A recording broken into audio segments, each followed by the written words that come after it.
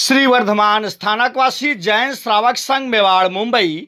उपसंघ डोंबिवली कल्याण में चल रहे मंगलमय चातुर्मास के दौरान डोंबिवली कल्याण की पुण्यधरा पर श्रमणी गौरव पूज्याश्री श्वेसा जी महाराज साहब सेवा भावी पूज्याश्री सुजया जी महाराज साहब आदि ठाणा दो के पावन सानिध्य में डोंबिवली संघ महिला मंडल की कोषाध्यक्षा मोनिका सिसोदिया के इकतीस उपवास पूरे होने पर डोंबिवली संघ में भव्य कार्यक्रम का आयोजन किया गया। इस मौके पर मोनिका सिसोदिया के माता श्री जी अपने परिजनों के साथ खास तौर पर सूरत से पधारी और इस ऐतिहासिक पल के साक्षी बने।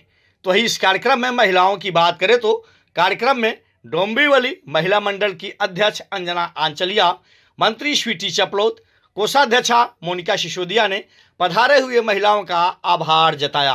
तो ही मौजूद महिलाओं ने मोनिका जी सिसोदिया को उनके कठिन तपस्या, व्रत की खूब खूब अनुमोदना करते हुए उनके उत्तम स्वास्थ्य के लिए मंगल कामना भी की। इस मौके पर वर घोड़ा यात्रा भी निकाली गई।